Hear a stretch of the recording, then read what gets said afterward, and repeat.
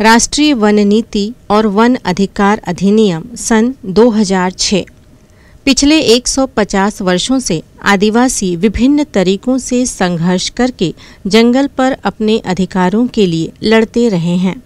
इन संघर्षों के फलस्वरूप सन 1988 में केंद्र सरकार ने राष्ट्रीय वन नीति की घोषणा की। इस नीति में माना गया कि वनों के संरक्षण और विकास में आदिवासियों और ग्राम समुदायों की अहम भूमिका होगी। उसके अनुसार वनों का उपयोग इस तरह करना होगा जिससे वनों के आसपास रहने वालों को रोज़गार मिले। इस नीति ने यह भी स्वीकारा कि आदिवासी और अन्य वनाश्रित समुदायों को अपनी ज़रूरतों के लिए वनों का उपयोग करने का अधिकार है। इस नीति के तहत संयुक्त वन प्रबंधन कार्यक्रम चलाए गए, जिनके अंतर्गत आदिवासियों को जंगल से चारा, जलाऊ लकड़ी व लघु वनोपज इकट्ठा करने का अधिकार मिला और वन विभाग के तहत रोज़गार भी मिला लेकिन साथ साथ उन पर दबाव बनने लगा कि वे खेतीहर ज़मीन पर अपना अधिकार छोड़ दें, ताकि वहाँ पेड़ उगाए जाएँ।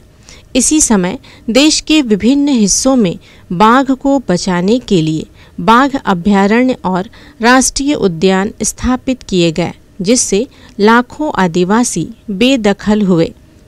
इस बीच देश भर में आदिवासियों की बढ़ती बदहाली पर चिंता होने लगी और सन 2006 में संसद ने लंबे विचार और वाद विवाद के बाद वन अधिकार अधिनियम सन 2006 पारित किया।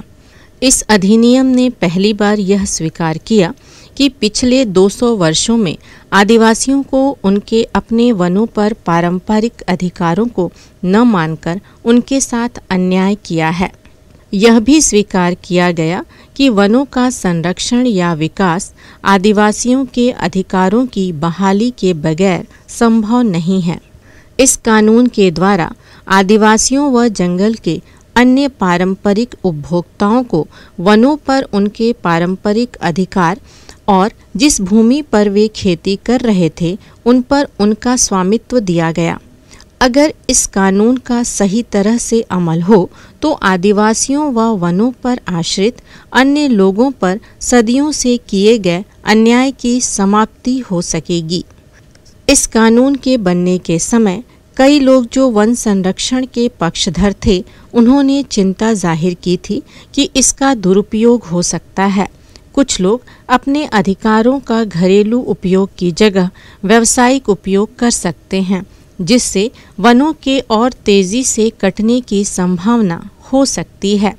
इसके विपरीत अन्य लोगों का मानना था कि आदिवासी जो सदियों से वनों की रक्षा करते आ रहे हैं, उनके अधिकार सुरक्षित होने से वे जंगलों की रक्षा हमसे बेहतर कर सकते हैं।